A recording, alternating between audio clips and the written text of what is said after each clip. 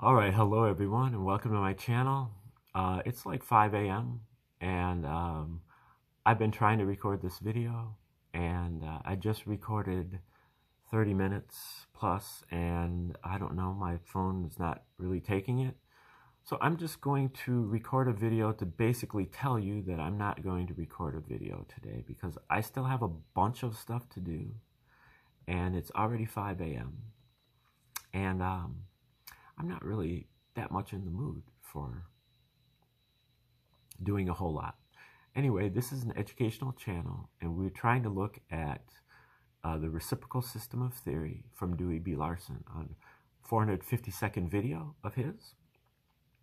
All I'm going to tell you today is that he proposed his two uh, fundamental postulates in 1959. They were about how the universe operated. And he um, then tried to construct a theoretical universe which was a, a series of deductions from his postulates.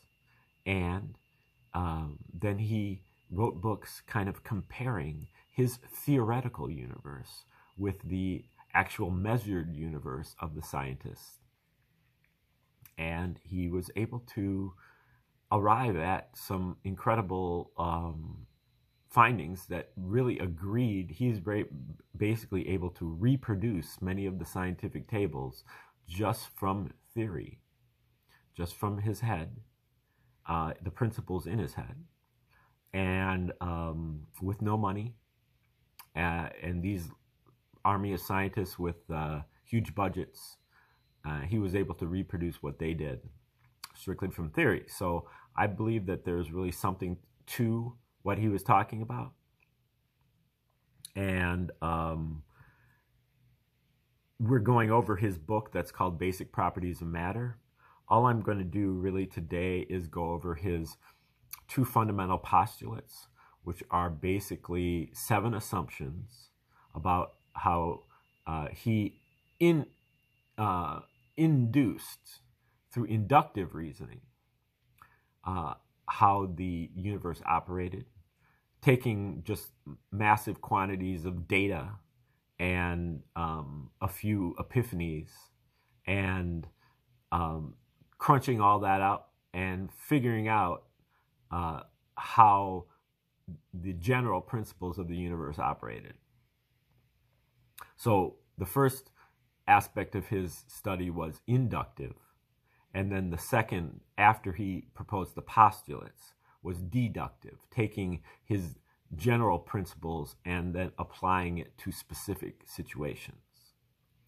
Um, and then arriving at his theoretical universe. Larson's reciprocal system is also known as the universe of motion, and that is because he tried to construct his universe upon motion. Uh, other people have tried that before. Um, such as Thomas Hobbes and Rene Descartes. Uh, Larson is the first one to really make it work and turn it into a generalized theory of the universe. Now, that's why Larson calls it the reciprocal system of theory. It's a system of theory. It's a system, meaning that if you understand how the system works, you can apply it to any subject. It is a uh, an interrelated network of different subjects. You can have reciprocal chemistry, reciprocal astronomy, reciprocal economics, you know, reciprocal religion, and so on. And it's all based on the universe of motion. The first postulate is that um, I kind of like to break it down into the uh, seven assumptions. And the uh, first assumption is that the universe is composed entirely of one component, motion. Then motion um, comes in three dimensions. Motion comes in discrete units. And motion um, is made of uh, two reciprocal aspects, space and time. Okay, so the universe is made out of motion. Motion is a relationship in, between space and time. And space and time and motion have three dimensions and they come in only discrete units. That's his first postulate. And his second postulate is that the universe conforms to the relations of ordinary commutative mathematics. Its primary magnitudes are absolute, and its geometry is Euclidean.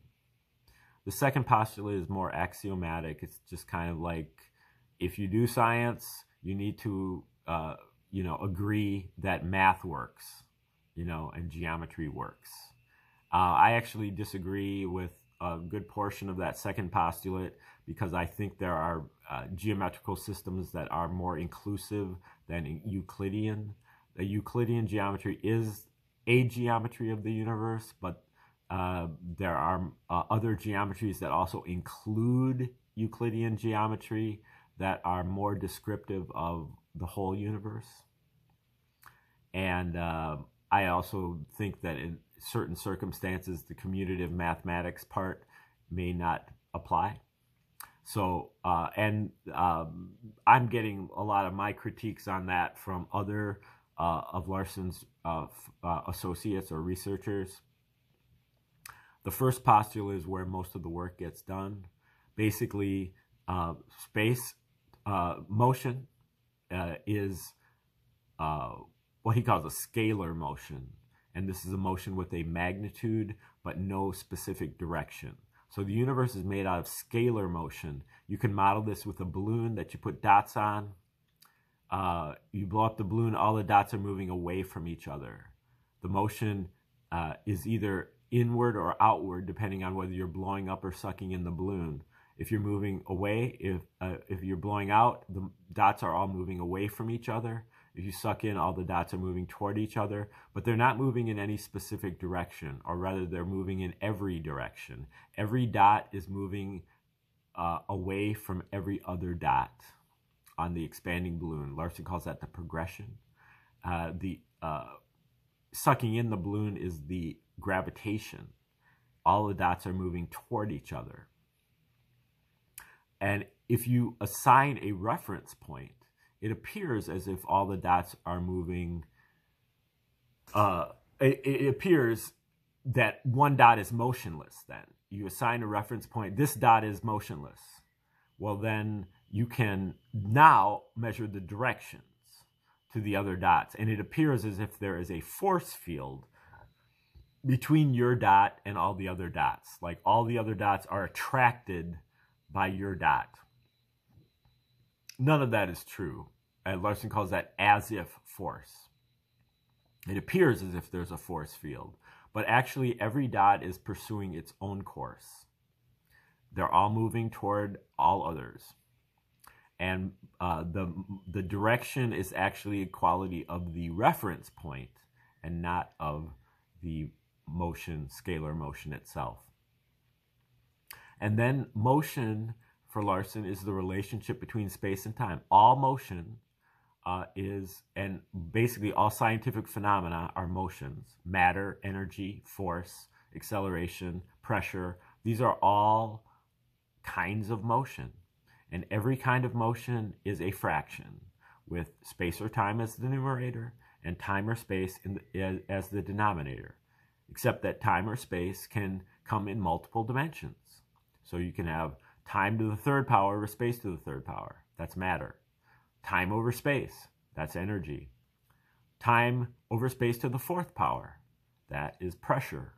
Space over time to the second power, that is uh, acceleration. And so on. So that is a great system of units that you can use uh, to check your work and uh, it's much easier than dealing with the MKS system, which has also got matter in there. You can turn all matter into time to the third power or space to the third power. Everything works out to just time and space, um, which makes it a lot easier than dealing with three variables. Um, space and time come in three dimensions. Uh, that's coordinate space, three dimensions of space, but that's really when you assign a reference point you stop the universe and then the three dimensions become still um, like space like we're accustomed to and then but time is still moving in a scalar manner. Time is getting later and later and later. But if you um, you can do that also with time, uh, and so you end up with a three-dimensional uh, vectorial spatial reference system, and you also have can get a three-dimensional temporal reference system three dimensions of time in a still frame, and space is progressing. Space is always getting farther and farther and farther apart, but in no specific direction, like on the surface of an expanding balloon. Uh, and space, time, and motion come only in discrete units, um, meaning that you have to have a full unit of space before you have space, and you have to have a full unit of time before you have time. If you have one unit of space and one unit of time, you have what Larson calls unit speed. Space over time is speed. The car is moving 10 miles an hour. 10 miles of space in one hour of time. One unit of space in one unit of time is unit speed, which is also known as the speed of light. That is the background speed of the universe of motion. The universe is always moving at the speed of light outward in all directions, a scalar motion of space in all directions. That is always happening. It's eternal and omnipresent. And then by turning back that motion, that is the source. You turn back that motion to get particles and atoms and molecules and aggregates by rotating that outward motion and turning it into an inward motion, which is gravitation. Gravitation is inherent in all matter, all atoms and particles, uh, and uh, molecules and aggregates ha- are, uh, gravi- are, are, have gravity in them, inherent. So gravity, again, is not a force. It is an as-if force it is inherent to the atom itself. All of the atoms or dots are moving on their own. There is no force field, there's no force of attraction. It just appears that way because all atoms are moving toward all other atoms. And, um, uh, you know, in order to accept the reciprocal system, the universe of motion, you have to be able to accept the concept that motion exists before anything moving. So you got that progression of the natural reference system that is always there and that's always going to be part of the calculations.